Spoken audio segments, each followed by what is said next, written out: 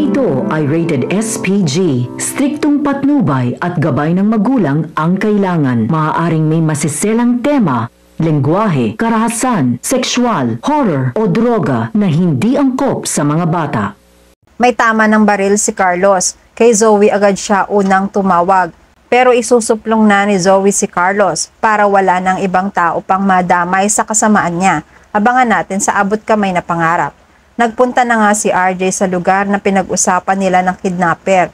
Naiwan niya ang pera dahil nagkaroon sila ng komusyon ni Carlos. Nakakuha ng tiyempo si Gilbert na alagad ni Morgana. Tinakas na niya agad ang bag na may lamang puno ng pera na nagkakahalagang 10 milyong piso. Nagkasuntukan at naagaw ni RJ ang baril ni Carlos hanggang sa tumakas si Carlos pero nahabol siya ni RJ. Tinutukan ni RJ si Carlos ng baril Nung una, hinahamon pa ni Carlos si RJ na paputukin ito dahil isang duwag si RJ at alam niyang hindi ito magagawa ni RJ. Pero naalala ni RJ ang lahat ng masasamang ginawa ni Carlos kina Lines at ngayon naman kay Annalyn. Nagalit si RJ. Ikaw ang duwag, Carlos, dahil nagtatago ka sa likod ni Annalyn. Kung matapang ka, hindi mo na kailangan pang gumamit ng ibang tao para lang makaharap mo ako. Ibigay mo sa akin ang anak ko hindi ko ito papuputukin. Napangiti at nangiinsulto si Carlos. Hindi ko siya ibabalik sa iyo hanggat hindi mo binabalik sa akin si Lines. Pakakawalan ko si Annalyn, kapalit ni Lines. Sumagot si RJ. Sira ulo ka talaga, Carlos. Alam mong ayaw na sa'yo ni Lines. Hindi ko na desisyon yan. Si Lynette na ang maayaw sa'yo. Kahit ibalik ko siya sa'yo, alam mong hindi kanya mamahalin.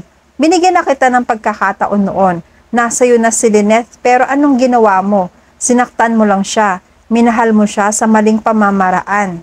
Dahil hindi ka marunong magmahal, hindi naman naniniwala si Carlos. Para sa kanya, inagaw ni RJ si Lynette sa kanya. Kung hindi ka sana umieksena at palaging nasa tabi ni Lynette, hindi sana mangyayari ito. Inagaw mo siya sa akin. Sakim ka. Ayaw mong hayaan si Lynette na magmahal ng iba. Kung hindi mo ibibigay sa akin si Lynette, hindi ko rin ibibigay sa iyo si Annalyn. Binira ni Carlos si RJ ng isang malakas na suntok at napahiga si RJ. Mabilis na tumakbo si Carlos papunta sa kotse niya. Nakatayo si Carlos at pasakay na sana siya ng kotse ay pinaputukan siya ni RJ. Nadaplisan siya ni RJ sa paa pero nakapagpatakbo pa rin siya ng sasakyan hanggang sa nakatakas siya. Naiwan si RJ sa lugar, halos pagod na pagod. Sa kabilang banda, nagtatalo sina Gilbert at Morgana dahil naisahan sila ni RJ sa perang ransom para kay Annalyn.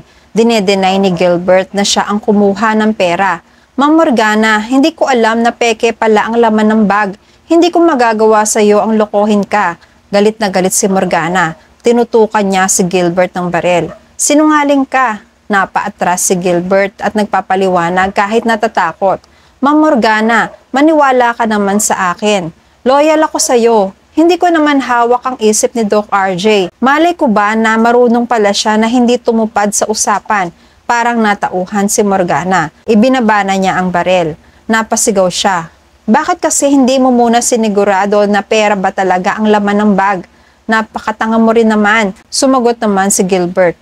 Ang hirap po kasi ng kondisyon niya. Gusto niya makita si Annalyn. Alam naman natin na wala sa atin si Annalyn. Anong ipapakita ko? Eh di nabuking na tayo. Sa inis ni Morgana ay pinalayas na niya si Gilbert. Sige na, lumayas ka na. Wala kang kwenta. Unti-unti na naglakad pa atras si Gilbert hanggang sa tumakbo siya. Napapangiti siya dahil naisahan niya si Morgana. Nasa kanya talaga ang 10 milyon. Pinagpalit ni Gilbert ang laman ng bag niya sa bag na binigay ni RJ. Iniwan niya muna ang bag sa isang sulok at ngayon ay babalikan na niya ito. Natatawa siya. Akala ni Ma'am Morgana tanga ako. Siya pala ang madaling lokohin. Mayaman na ako. Pwede na kaming magpakalayo-layo ng kapatid ko. Naiwan kay Morgana ang bag na may lamang pekeng pera. Itatago sana niya ang bag para walang ebidensya. Pero naisipan niya ulit na buksan ito. Nakita niya na may isang bilog na umiilaw. Naisip niya na isa itong bitag para masundan ang taong may dala ng pera. Tinanggal niya ulit sa kotse niya ang bag at hinagis sa mas malayo sa kanya. Palingalinga pa siya kung may nakakita. Sabay sakay na siya sa kotse niya. Sa Apex, bumalik si Morgana. Nasa parking pa lang siya. Hindi pa rin mawala ang galit niya. Sa sobrang panghihinayang ni Morgana, gigil na gigil siya. Pinagdiskitahan niyang hampasin at suntukin ang kotse niya. Galit na galit siya sa katangahan ni Gilbert.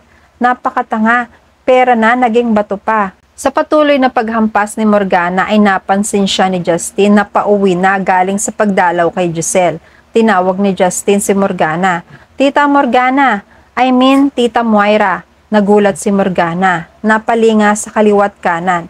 Ano ba Justin? Huwag mo nga ako matawag ng Moira. Baka may makarinig pa sa'yo. Patay na ang kapatid ko. Lumapit si Justin.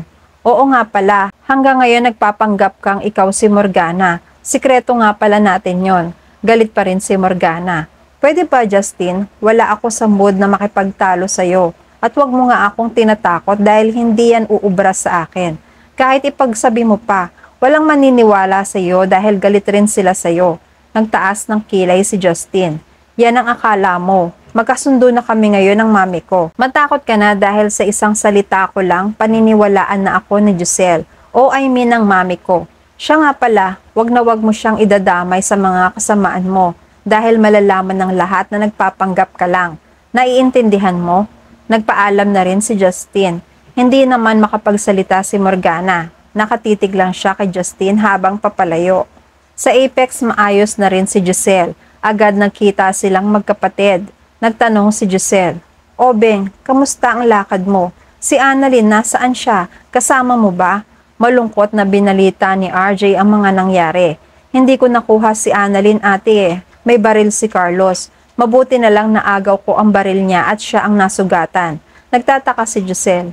Teka Obeng, nakita mo si Carlos pero hindi mo nakuha si Annalyn? Pero nakuha ba niya ang pera? Sumagot si RJ. Nung binalikan ko ang bag, wala na doon. Pero sigurado ako, kinuha yon ng tauhan niya. Nag-aalala si Giselle. Paano na si Annalyn Obeng? Paano na natin makukuha si Annalyn? Sumagot si RJ. Meron akong nilagay na bag tag locator para malaman ko kung paano sila masusundan. Kaya kung akala nila na maiisahan nila ako, nagkakamali sila. Inunahan ko na sila. At least matatrack ko kung nasaan si Annalyn. Kahit hindi ko mabawi ang 10 milyon. Parang napawi ng kaunti ang pag-aalala ni Giselle. Kung ganon, Obeng, kailangan na talaga natin humingi ng tulong sa mga pulis dahil niloko ka na ni Carlos. Pinigay mo ang pera pero wala naman si Annalyn. Sang-ayon na ngayon si RJ. Tama ka ate, kailangan na natin ang pulis dahil baka kung ano na ang mangyari sa anak ko. Inakbayan ni Giselle si RJ bilang pampalakas ng loob sa kinakaharap ng problema. Samantala, nasugatan at nasaktan si Carlos sa tama ng baril. Hindi rin naman siya agad nakalabas sa parking area dahil sa sugat niya. Kailangan umampat muna ang dugo. Hindi na siya makabalik sa facility dahil booking na rin siya. Wala naman siyang gamit na daladala kahit na doktor siya. Tinawagan niya agad si Zoe. Hello anak, si Carlos to. Nabusesan agad ni Zoe si Carlos. Sumagot siya, may kailangan ka? Lumakas naman ang loob ni Carlos. Anak nga kita, alam mong may kailangan ako. Wala nang paligoy-ligoy si Zoe. Agad niyang tinanong kung nasaan si Carlos para mapuntahan niya. At yan ang mga pakakaabangan natin sa abot kamay na pangarap. Please like this video and please subscribe to my channel. At magkita-kita po muli tayo sa mga susunod pang episodes.